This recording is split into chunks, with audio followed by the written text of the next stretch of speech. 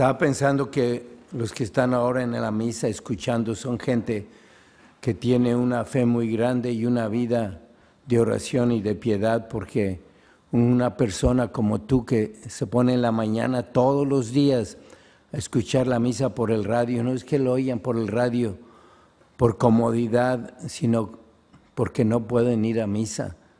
Y algunos podrían ir a misa, pero no les da tiempo por el trabajo y quieren, igual que se ponen a rezar el rosario, escuchar la misa. Y de cualquier forma, son ustedes personas que sí entienden el Evangelio de hoy y dicen, claro que es mejor tener lo interior limpio y ordenado, más que las cosas externas. Y es lo que nos viene a decir San Pablo en la primera lectura, no pongan su, su confianza en la ley y en la circuncisión porque está en Jesucristo.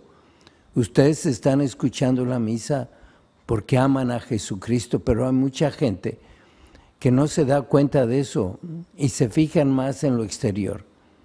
Por ejemplo, hay otros que sí pueden ir a misa y se levantan temprano para poder llegar temprano a trabajar, pero no dejan la misa ni un día su misa de seis y media en una parroquia.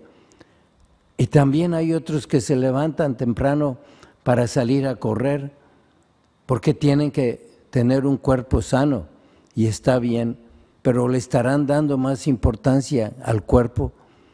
¿Cuántos sacrificios, dietas, ejercicios, médicos, medicinas, vitaminas para el cuerpo y para el alma? Para el alma nada. No rezamos, nos levantamos como el perrito que nos acompaña cuando corremos, ese no rezó, tampoco se persina antes de irse a dormir. Y tenemos que escuchar este Evangelio y si lo ponemos así más en concreto para acordarnos, nos está diciendo que tenemos que ser libres. Tenemos que ser libres para cuidar el interior. Y Jesucristo nos dijo que el pecado nos hace esclavos. Entonces la libertad nos la quita el pecado. Y el pecado nos quita la gracia también, la gracia santificante. ¿Y qué es la gracia santificante? Es la salud interior. ¿Por qué? Porque el que está en pecado mortal no es que está enfermo, está muerto. Su alma está muerta. Y no ir a misa el domingo es pecado mortal. Y vivimos con un alma muerta. No le damos importancia a lo interior. Y entonces sí podemos preocuparnos y sustituir a, Jesucristo por otras cosas. Es que yo tengo un control mental, es que tengo energías, es que tengo la nueva era y estoy dependiendo de fuerzas que no son una persona, no son Dios, no dan la libertad, no quitan el pecado, nos engañan.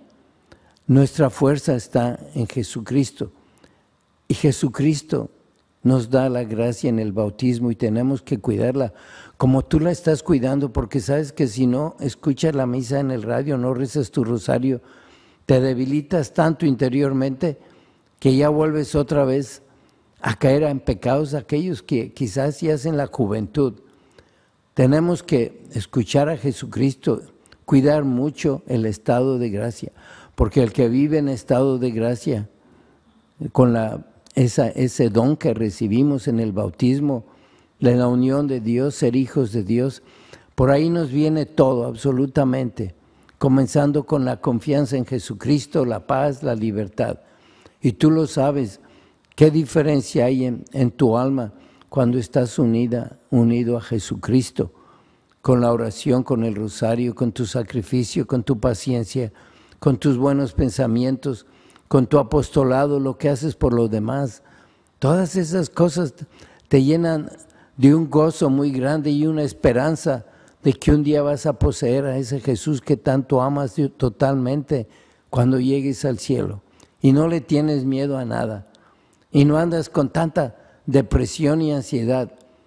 Y ahí está el fruto de, la, de la libertad que no te dejas engañar por esos esclavos de la imaginación, de la oscuridad, de la desesperación. Y Jesucristo lo entendió y tú lo entiendes. Por eso no podemos guardar este tesoro para nosotros, el tesoro de Jesucristo, con sus dones, con los carismas que nos da el Espíritu Santo, tenemos que, que ayudar a los demás. Y tú que a lo mejor no puedes salir ya por tu edad, por tu enfermedad de tu cuarto, la oración, la oración es un apostolado por el que todos deben comenzar su acción apostólica, por la oración. Los que andan activos todavía, todos los que predicamos la oración, primero la oración. Y acuérdate que estamos en el mes de octubre, el mes del rosario, para que lo agarres y no lo sueltes. Y todos los días, todos los días, reces el, el rosario que te abre la puerta a muchos otros modos de oración. Tu oración mental, tu plática con Jesucristo, tu comunión espiritual. El rosario nos, nos ayuda a comenzar esa unión con Jesucristo. Vamos a pedirle a la Santísima Virgen que nos dé fortaleza para entender lo que es la libertad, lo que es el pecado, lo que es la felicidad, lo que es la paz, lo que es la unión con Jesucristo y seguir siempre bajo su protección.